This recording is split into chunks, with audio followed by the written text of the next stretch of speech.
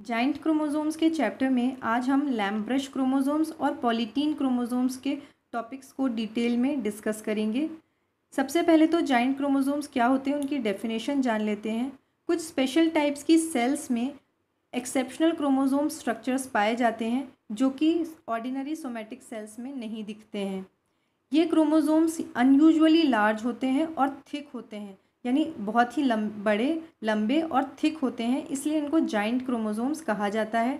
दो मेन प्रकार के जाइंट क्रोमोजोम्स हैं लैम्प ब्रश क्रोमोजोम और पॉलीटीन क्रोमोजोम सबसे पहले लैम्प ब्रश क्रोमोजोम को वाल्दर फ्लेमिंग ने 1882 में सालमांडर के ऊसाइट्स में देखा था।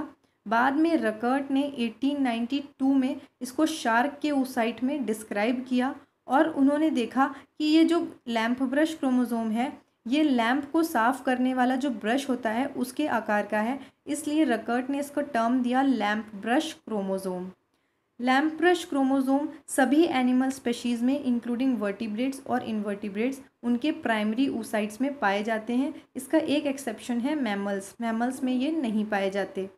लैम्प ब्रश क्रोमोज़ोम मियोसिस के प्रोफेज वन के डिप्लोटीन स्टेज में देखे जाते हैं।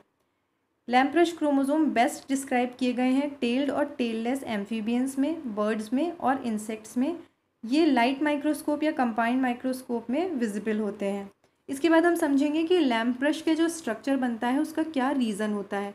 सबसे पहले तो जो ऊसाइट का डेवलपमेंट है, उसके मियोटिक डिवीज़न के दौरान ये इंटरमीडिएट स्ट्रक्चर्स बनते हैं, जिनको हम लैम्प ब्रश क्रोमोसोम कहते हैं। ये परमानेंटली नहीं होते हैं। जो कई सारे एनिमल स्पेशीज़ हैं जिनमें जब ऊसाइट्स का डेवलपमेंट होता है, यानी जब ऊ ऊजेनेसिस होती है, तब जो मियोटिक प्रोफेज वन में जो क्रोमोसोम्स हैं, वो डिप्लोटीन स्टेज में काफ़ी लंबे समय तक रहते हैं। यानी कि जो डिप्लोटीन स्टेज है प्रोफेज वन की, वो प्रोलॉन्ग हो जाती है, यानी लंबी हो जाती है, ये अराउंड टू हंड्रेड डेज़ से बारह साल तक लंबी हो जाती है।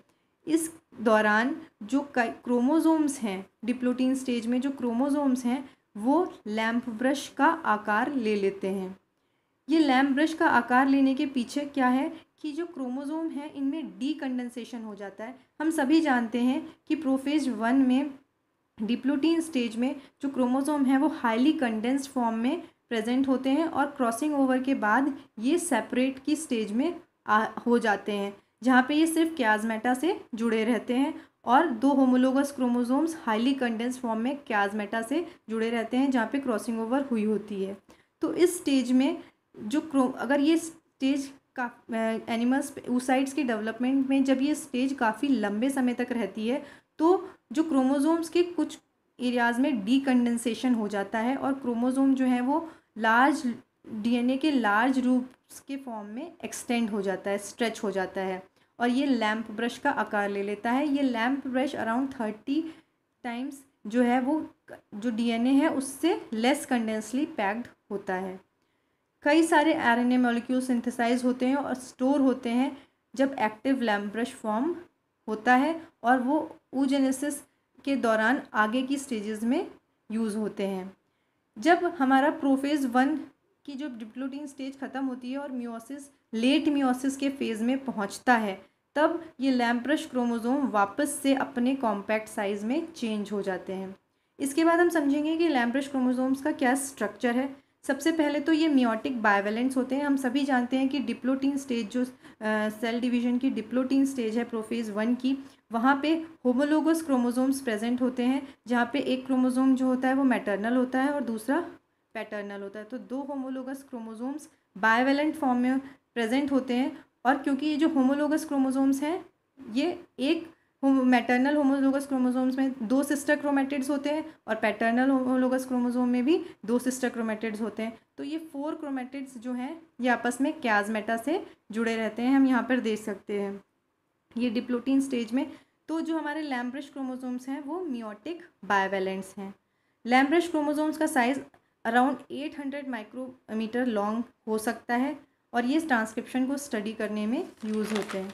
इसके बाद हम स्ट्रक्चर समझेंगे लैम्ब्रिश क्रोमोज़ोम का क्या है। ये हम देख सकते हैं, ये मैटरनल क्रोमोज़ोम और पैटर्नल क्रोमोज़ोम ये जो टाइटली पैक्ड हैं और ये दो सिस्टर क्रोमेटिड से मिलकर, एक मैटरनल क्रोमेटिड में क्रोमोजोम में दो सिस्टर क्रोमेटिड्स प्रेजेंट हैं और पैटर्नल क्रोमोजोम में भी दो सिस्टर क्रोमेटिड्स प्रेजेंट हैं। और ये यहाँ पे, क्योंकि डी कंडेंसेशन हो गया है तो डी के कारण जो क्रोमोजोम्स हैं, उन्होंने लैम्प ब्रश का फॉर्म ले लिया है।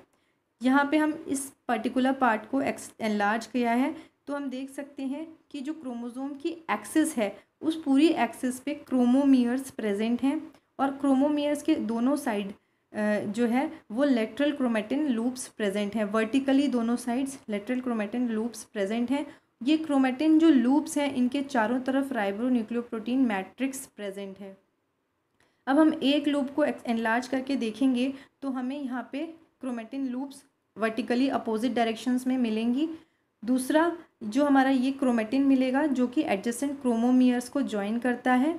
दूसरा क्रोमोमियर्स हमें मिलेंगे, जो कि हाईली कंडेंस्ड क्रोमेटिन जहाँ पे प्रेजेंट होता है स्वेलिंग में।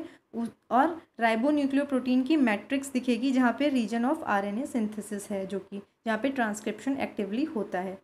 प्रत्येक क्रोमोजोम में कई सारे क्रोमोमियर्स प्रेजेंट हैं और ये उसकी पूरी लेंथ के अराउंड डिस्ट्रीब्यूटेड हैं। लिटरल रूप्स जो हैं वो पेयर्स में निकल रही हैं। प्रत्येक सिस्टर क्रोमेटिड से लेटरल रूप्स जो हैं वो अपोजिट डायरेक्शन में पेयर्स में निकलती हैं। एक जो हमारा क्रोमोजोमल एक्सेस है, उसमें एक क्रोमोमियर से अराउंड एक से लेकर नाइन लूप्स तक निकल सकती हैं और एवरेज जो साइज़ होता है लूप का, वो होता है नाइन माइक्रोमीटर से लेकर के टू हंड्रेड माइक्रोमीटर तक, यानी काफ़ी लंबी लूप्स इसमें से निकलती हैं। जो लूपलेस स्वेलिंग है बायोवेलेंट में, उसको हम कहते हैं क्रोमोमियर। सेंट्रल एक्सेस पे और लूप एक्सेस पे, दोनों ही जो एक्सेस हैं वो डीऑक्सी राइबो न्यूक्लियो प्रोटीन से मिलकर बनी है, यानी डीएनए और प्रोटीन से बनी है। जो लेटरल लूप्स हैं, वो फुल्ली डीकंडेंस्ड हैं और उनमें एक्सटेंडेड डीएनए डुप्लेक्स प्रेजेंट है। इसके अलावा उसमें bundles of submicroscopic fibrils भी प्रेजेंट हैं। जो लूप एक्सेस है, वो कोटेड होती है राइबो न्यूक्लियो प्रोटीन से, यानी प्रोटीन और आरएनए के उस मैट्रिक्स से, जिसमें कि नेसेंट आरएनए चेन्स प्रेजेंट होती हैं। यहाँ पे लूप में ही एक्टिव ट्रांसक्रिप्शन होता है। जो लेटरल लूप्स हैं, वो एक्टिव साइट्स हैं ट्रांसक्रिप्शन की, और एक लूप एक से ज़्यादा ट्रांसक्रिप्शन यूनिट्स कैरी कर सकती है। यानी एक लूप में एक से ज़्यादा ट्रांसक्रिप्शन यूनिट्स यानी ओपरॉन्स प्रेजेंट हो सकते हैं। और यही लेटरल लूप्स जो हैं, वो एक्टिव साइट हैं ट्रांसक्रिप्शन का। ज़्यादातर जो न्यूली सिंथेसाइज आरएनए है, वो राइबोन्यूक्लियोप्रोटीन मैट्रिक्स का फॉर्मेशन करता है। कुछ जो M R N A synthesize होता है, वो एक्टिव रोल प्ले करता है जाइगोट के डेवलपमेंट में, यानी यॉक के फॉर्मेशन में। इसके अलावा स्मॉल स्वेलिंग्स विदाउट लूप्स जो है, वो सेंट्रल एक्सिस के एंड्स पे भी प्रेजेंट होती है, जिसको कहते हैं टीलोमियर्स इसके बाद हम जानेंगे कि लैम्प ब्रश क्रोमोजोम नेचर में क्यों प्रेजेंट होते हैं, इनकी क्या यूटिलिटी है। सबसे पहले तो लैम्प ब्रश क्रोमोजोम नेचर में नेचुरल जीन एम्पलीफिकेशन का परफेक्ट एग्ज़ाम्पल है। इस, क्योंकि लैम्प ब्रश स्ट्रक्चर में डीएनए के क्रोमोजोम में डीएनए के होने के कारण एक्टिव ट्रांसक्रिप्शन होता है, जिससे ऊजेनेसिस के दौरान हाई डिमांड ऑफ़ ट्रांसक्रिप्शन को पूरा किया जा सकता है। इसके अलावा बायोटेक्नोलॉजी में लैम्ब्रश क्रोमोज़ोम का एप्लीकेशन है क्रोमोज़ोम मैपिंग में जीन एक्सप्रेशन और ट्रांसक्रिप्शन को स्टडी करने में, और ये जो लैम्ब्रश क्रोमोज़ोम है वो हाइब्रिडाइजेशन एनालिसिस के लिए भी एक बहुत अच्छा मटेरियल है। इसके बाद हम समझेंगे पॉलीटीन क्रोमोज़ोम्स को। पॉलीटीन का मतलब है कई सारे स्ट्रैंड यानी बैंड पैटर्न। पॉलीटीन क्रोमोज़ोम्स को जाइंट सलेवरी ग्लैंड क्रोमोज़ोम भी कहा जाता है। सबसे पहले ईजी बाल्बनी ने 1881 में चिरोनोमस के लार्वे के सलाइवरी ग्लैंड्स में पॉलिटीन क्रोमोज़ोम को डिस्कवर किया था। ये क्रोमोज़ोम्स जो है, ये डिप्टीरियन स्पेशीज़ के salivary gland cells malpighian tubules ovarian nurse cells gut epithelial cells इन सब में ये डिप्टीरियन स्पेशीज़ के, इन सब सेल्स में ये पाए जाते हैं। इसके अलावा ये लेगोमिनस प्लांट्स के डेवलपिंग एम्ब्रियोज में कोलम्बोला के जो एक क्लास है आर्थोप्रोड्स की, उसमें इसके अलावा एक प्रोटोजोआ का ग्रुप है सीलोफोरा उसमें भी ये पाए जाते हैं और मैमल्स में ये ट्रोफोब्लास्ट और एंटीपोडल सेल्स में पाए जाते हैं। जो हमारे पॉलिटीन क्रोमोजोम्स हैं, ये इंटरफेज और प्रोफेज जो माइटोसिस का इंटरफेज है और प्रोफेज है उस दौरान ये कंपाउंड माइक्रोस्कोप से देखे जा सकते हैं। अब सबसे हम समझेंगे कि जो पॉलीटीन क्रोमोजोम है, उसका जाइंट स्ट्रक्चर का रीज़न क्या है? जो पॉलीटिनी है वो सेल्स के द्वारा अचीव की जाती है बाय एंडो रीडुप्लीकेशन ये क्या है, इसको हम अभी समझते हैं। जो सेल्स हैं जिनमें पॉलीटीन क्रोमोजोम पाए जाते हैं, वो जो माइटोटिकली डिवाइडिंग अदर सेल्स हैं, उनसे डिफरेंट होती हैं। कैसे ये सेल्स में repeated round of DNA replication होता है, यानी डीएनए का कई बार रेप्लिकेशन होता है, बट उसका डिवीज़न, सेल डिवीज़न नहीं होता। यानी एंडोमाइटोसिस होती है। मतलब डीएनए का रेप्लिकेशन तो होगा, बट सेल डिवीज़न नहीं होगा। इसका मतलब सेल साइकिल में सिर्फ़ दो फेजेस होंगे, सबसे, दो पीरियड्स होंगे, सिंथेटिक फ़ेज़ और इंटर सिंथेटिक फ़ेज़।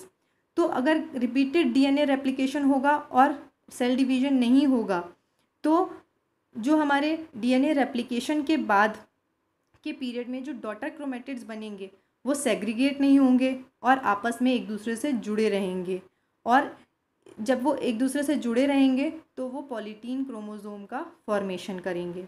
अब पॉलीटीन क्रोमोज़ोम का स्ट्रक्चर क्या होता है? अगर लाइट माइक्रोस्कोप में स्टेनिंग के बाद देखा जाए तो पॉलीटीन क्रोमोज़ोम में अल्टरनेटिंग यानी एक के बाद एक डार्क बैंड, फिर लाइट बैंड देखे जा सकते हैं। जो डार्क बैंड्स हैं, उनको डार्क बैंड कहा जाता है और लाइट जो बैंड्स हैं, उनको लाइट इंटर बैंड्स कहा जाता है। इसके बाद हम समझेंगे नाइन्टी फाइव परसेंट जो डीएनए है पॉलीटीन क्रोमोजोम में, वो बैंड्स में है और इंटर बैंड्स में सिर्फ़ फाइव परसेंट डी ही प्रेजेंट है। दोनों ही बैंड्स और इंटर बैंड्स, इन दोनों में ही जीन्स प्रेजेंट होते हैं। एक टर्म है बालबियानी रिंग्स। जो बैंड्स हैं जहाँ, जो कि साइट है एक्टिव जीन एक्सप्रेशन का, यानी कि जो बैंड्स हैं उनमें ट्रांसक्रिप्शन का प्रोसेस होता है। बैंड्स जो हैं वो एक्सपैंड करते हैं, बढ़ जाते हैं और पफ्स का फॉर्मेशन करते हैं और इन पफ्स को कहा जाता है बालबियानी रिंग। ये बालबियानी रिंग बैंड्स में प्रेजेंट होती है जो कि डार्क रीजन है, क्योंकि ये जो बैंड है, इनमें जो क्रोमेटिन है, उसका कलर डार्क दिखता है। इसका कारण ये भी हो सकता है कि जो डीएनए है वो बैंड्स में ज़्यादा कंडेंस्ड है, बजाय कि इंटर बैंड्स में, या फिर कि इसमें जो ट्रांसक्रिप्शन है, उसके लिए प्रोटीन्स ज़्यादा मात्रा में प्रेजेंट हैं। तो इसलिए भी बैंड्स का जो कलर है वो डार्क होता है। जो बालबियानी रिंग्स हैं बैंड्स में, वहाँ पे एक्टिव ट्रांसक्रिप्शन होता है और आरएनए की सिंथेसिस होती है। इसमें जो रीजन होता है बालबियानी रिंग्स का, वहाँ पे जो क्रोमोजोम के फाइबर्स होते हैं, वो अनवाइंड करते हैं, यानी डीएनए जो है वो अनवाइंड कर जाता है अपने यूजुअल स्टेट ऑफ़ पैकेजिंग में। और ये जो बालबियानी रिंग्स हैं, इनमें अराउंड वन से सेवन जीन्स भी प्रेजेंट हो सकते हैं। जो पैटर्न है पफ का, वो डिफरेंट टिश्यूज़ में डिफरेंट होता है। अब हम समझेंगे एग्ज़ाम्पल पॉलिटिनी का जो एग्ज़ाम्पल है salivary glands of Drosophila larvae में, उसको हम डिटेल में समझेंगे उसके स्ट्रक्चर के साथ। जो आ, हमारा सलाइवरी ग्लैंड्स हैं ड्रोसोफिला के लार्वे में उसमें क्या होता है? Ten cycles of DNA replication होता है विदाउट सेल डिवीज़न तो क्या होगा? अगर टेन साइकिल्स होंगी तो हमारे पास one thousand twenty four identical chromatin strands present हो जाएँगे जो कि एक दूसरे के साथ जुड़े रहेंगे लाइंड अप रहेंगे। तो इसका स्ट्रक्चर जो पॉलिटीन क्रोमोजोम का होता है वो कुछ इस प्रकार का होता है जिसमें सिक्स बैंड सिक्स हमारे क्रोमोजोम्स प्रेजेंट होते हैं। सबसे लॉन्गेस्ट क्रोमोजोम है एक्स क्रोमोजोम और शॉर्टेस्ट क्रोमोजोम है फोर्थ क्रोमोजोम फोर इसके अलावा इसमें टू सेकेंड uh, मतलब क्रोमोजोम राइट और second chromosome left arm present होती है। थर्ड क्रोमोजोम राइट और third chromosome left arm present होती है। इसके अलावा इसमें जहाँ पे जो हमारे जितने भी होमोलोगस क्रोमोजोम्स हैं वो यहाँ पे जैसे हम देख रहे हैं कि यहाँ पे ये होमोलोगस क्रोमोजोम्स यहाँ पे ये रीजन है जहाँ पे सेपरेट हो रहे हैं। इसमें जहाँ भी, जितना भी हमारा हेट्रोक्रोमेटनाइज ये जो सेंट्रोमियर है सारे क्रोमोजोम्स के, ये आपस में जॉइन होके क्रोमो सेंटर का फॉर्मेशन करते हैं। जो वाई क्रोमोजोम है, इसमें हम नहीं देख पा रहे हैं क्योंकि जो वाई क्रोमोजोम है, वो कम्प्लीटली फ्यूज़ हो गया है क्रोमो सेंटर से। यहाँ पे हम देखते, देख रहे हैं कि जो हमारा पॉलीटीन क्रोमोजोम है, उसमें अल्टरनेट बैंड्स और इंटरब्रैंड्स प्रेजेंट हैं। यहाँ पे जो बैंड ये के, यहाँ पे हम देख रहे हैं बैंड प्रेजेंट है, ये इंटरबैंड फिर बैंड फिर इंटरबैंड और फिर बैंड के रीजन में हम देख रहे हैं कि जो क्रोमोजोम्स हैं क्रोमोजोम फाइबर हैं, वो पफ के फॉर्मेशन कर रहे हैं, जिनको हम बालबियानी रिंग कहते हैं और इन्हीं में आरएनए की सिंथेसिस होती है। ये एक्सटेंडेड लूप्स जैसा स्ट्रक्चर बन जाता है। इसके बाद हम समझेंगे कि पॉलीटीन क्रोमोजोम्स का फ़ंक्शन क्या है सेल्स में, जो सेल पॉलीटीन क्रोमोजोम्स का फॉर्मेशन क्यों करती हैं। जो सेल्स होती हैं जिनमें पॉलीटीन क्रोमोजोम होता है बेसिकली पॉलीटीन क्रोमोजोम्स में एक्टिव ट्रांसक्रिप्शन होता है। एक्टिव ट्रांसक्रिप्शन यानी आरएनए का ट्रांसक्रिप्शन बहुत ज़्यादा होता है, जिसके द्वारा जो हमारा रैपिड ग्रोथ होती है रैपिड ग्रोथ के दौरान शॉर्ट टाइम में ही शॉर्ट टाइम में भी इंटेंस सेक्रेटरी फ़ंक्शंस को अचीव किया जाता है। सलाइवरी ग्लैंड्स में इंटेंस सेक्रेटरी फ़ंक्शंस को अचीव किया जाता है by active transcription and active transcription is required तो उसको एक्टिव ट्रांसक्रिप्शन को फैसिलिटेट करने के लिए फुलफ़िल करने के लिए क्रोमोजोम्स जो हैं, वो पॉलीटीन स्ट्रक्चर ले लेते हैं। इसका एप्लीकेशन क्या है? बायोटेक्नोलॉजी में बैंड्स और इंटरबैंड्स क्रोमोजोमल मैपिंग में यूज़ होते हैं। इसके अलावा क्रोमोजोम म्यूटेशन को आइडेंटिफाई करने के लिए भी पॉलीटीन क्रोमोजोम को यूज़ किया जाता है। ये जो हमारे स्टार्टिंग में हमने देखा था कि सबसे पहले इनको डिस्कवर किया था चीरोनोमस के लार्वे में। तो इन, ये जो चीरोनोमस का लार्वा है, इसको आइडेंटिफाई करना इज़ वेरी डिफ़िकल्ट। तो पॉलीटीन क्रोमोजोम की हेल्प से ही इनका टेक्सोनॉमिक आइडेंटिफिकेशन किया जाता है। इसके अलावा इनको यूज़ किया जाता है ट्रांसक्रिप्शन को स्टडी करने में। तो यहाँ पे हमारा चैप्टर एंड होता है जाइंट क्रोमोज़ोम का। अब नेक्स्ट वीडियो में हम डिस्कस करेंगे क्रोमोज़ोम वॉकिंग को। आज के वीडियो के अगर आपके कुछ क्वेश्चंस या क्वेरीज़ हैं तो आप मुझे कमेंट सेक्शन में मेंशन कर सकते हैं। और जैसा कि मैं हमेशा कहती हूँ कि आपको मेरे वीडियोस पसंद आ रहे हैं तो इनको लाइक करिए शेयर करिए और सब्सक्राइब करिए मेरे चैनल को, जिसका नाम है biotechnology lessons by doctor Shifali Mathur